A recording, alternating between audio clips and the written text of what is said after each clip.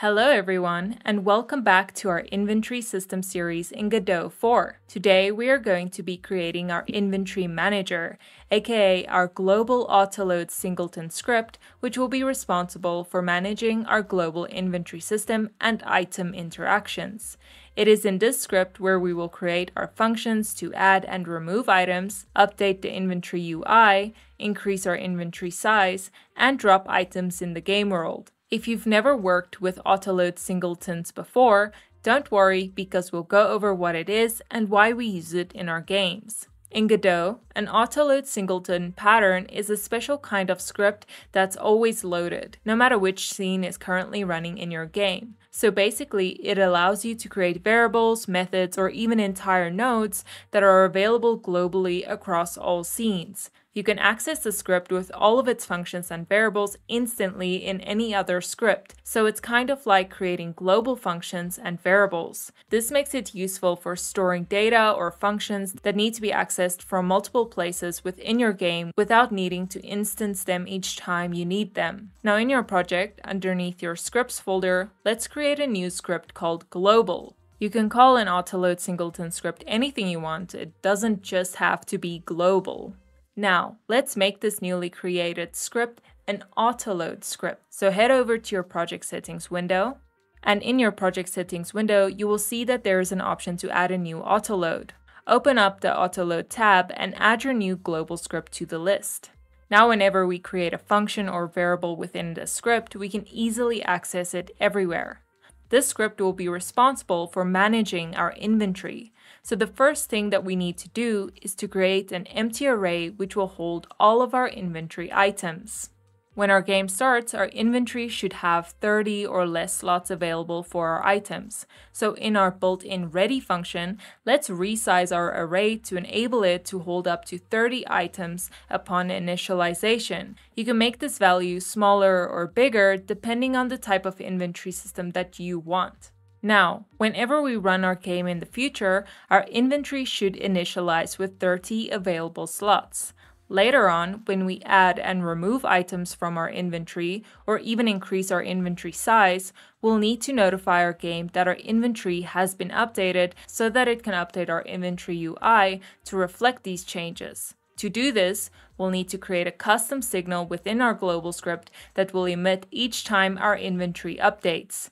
So if you didn't know, a signal is comprised of two parts, the emitter and the connector. The emitter is the function that executes or emits to notify the connection of changes. The connector then executes its own functions to change the game based on this emission or update. Basically, our signal will be defined and emitted in our global script when we add or remove items or make changes to our inventory. Then the connector, our inventory UI, will get notified of these changes and update our game by showing new slot items, resizing our inventory, or clearing the inventory completely.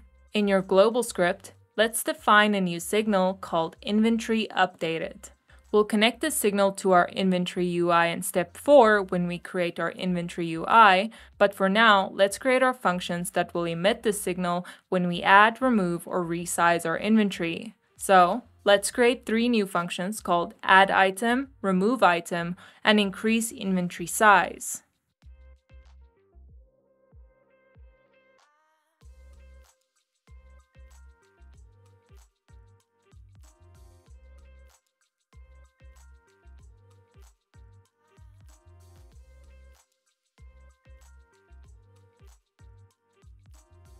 In each of these functions, we'll do nothing except emit our signal for now, since we need to create our item and our inventory UI first before we can continue and actually do something with these functions.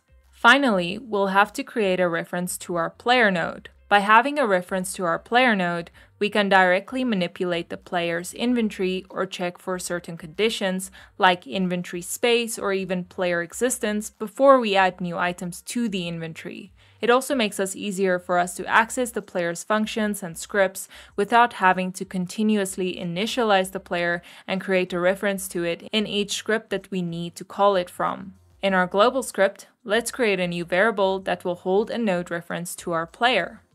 We'll then need to create a function in which we'll set this reference equal to a node.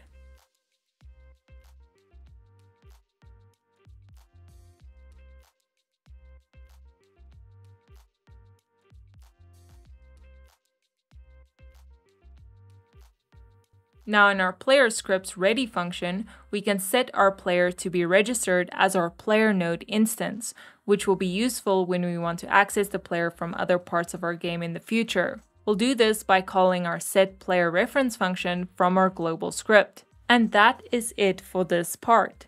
We did quite a bit of work without actually seeing any difference to our game, and to be honest, it's going to take a bit before we actually do get to test it out since we're focusing on creating the mechanics first. We're getting the code and functionality out of the way so that we can focus on debugging and testing at the end.